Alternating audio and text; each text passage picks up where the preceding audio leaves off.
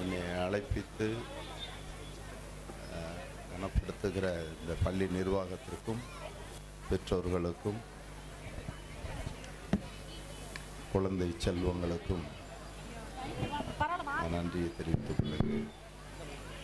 ஒரே ஒரு காரியத்தை மட்டும் நான் சொல்லி எனக்கு வாய்ப்பு கொடுத்ததை நிறைவேற்ற ஆசைப்படுகிறேன்.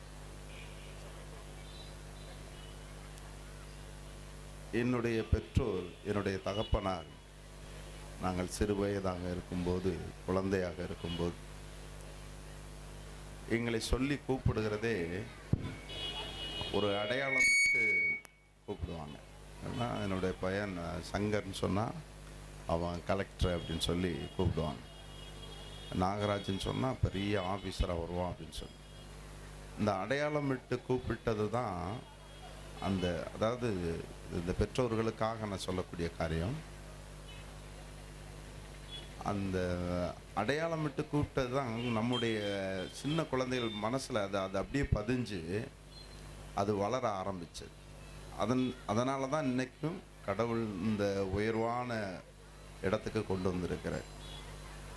அதே மாதிரி என்னுடைய மேலதிகாரியும் எனக்கு சொன்னக்கூடிய கா ஒரு காரியம் என்னன்னு சொன்னான் எல்லா பெற்றோர்களும் என்ன செய்வாங்கன்னு சொன்னால் அந்த டென்த்து படிக்கிற பிள்ளைகளுக்கு ப்ளஸ் டூ படிக்கிற பிள்ளைகளுக்கு வந்து ரொம்ப அவங்க பார்த்தீங்கன்னா அதிகமாக இன்வால்மெண்ட் ஆகி அந்த டென்த்து டுவெல்த்து படிக்கும்போது அவங்க கூடயே இருந்து அவங்கள அவங்களுக்கு ரொ- இந்த ஸ்டேட் லெவலில் ரேங்க் வரணும் ஸ்கூலில் ஃபஸ்ட்டு வரணும் அப்படின்னு சொல்லி ரொம்ப பிரயாசப்படுவாங்க டென்த்து டுவெல்த்து படிக்கிற பிள்ளை.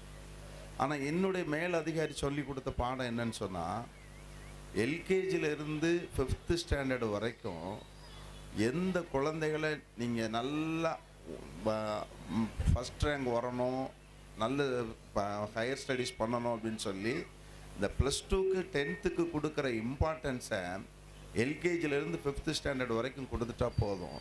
அதுக்கப்புறம் பார்த்தீங்கன்னா குழந்தைகள் ஆட்டோமேட்டிக்காகவே அந்த என்ன ஃபிஃப்த்து ஸ்டாண்டர்ட் வரைக்கும் என்ன ஸ்டேஜில் வராங்களோ அது தொடர்ந்து நீங்கள் அதுக்கப்புறம் அவங்கள கண்காணிக்க வேண்டிய அவசியமே இல்லை. தொடர்ந்து அதே ஸ்தானத்தில் வந்து ஸ்டேட் லெவலில் ஹையர் ஆஃபீஸராக வந்துடுவாங்க அதனால் பெற்றோர்களுக்கும் ஆசிரியர்களுக்கும் குழந்தைகள் நமக்கு கடவுள் கொடுத்த பெரிய ஆசீர்வாதம்.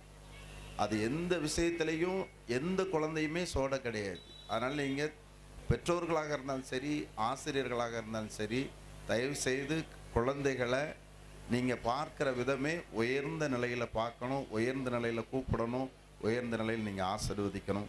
அப்படியே பிள்ளைகள் ஆசீர்வாதமாக இருப்பாங்க. இந்த பள்ளி நிர்வாகம் மென்மேலும் வளரணும்னு சொல்லி இந்த குழந்தைகள் இன்றைக்கி பெயர் ப்ராக்டிஸ் பண்ண அத்தனை குழந்தைகளும் ஆசீர்வாதமாக இருக்க வேண்டும் சொல்லி எல்லாம் வல்ல இறைவனை வேண்டி வாழ்த்துகிறேன். நன்றி வணக்கம்.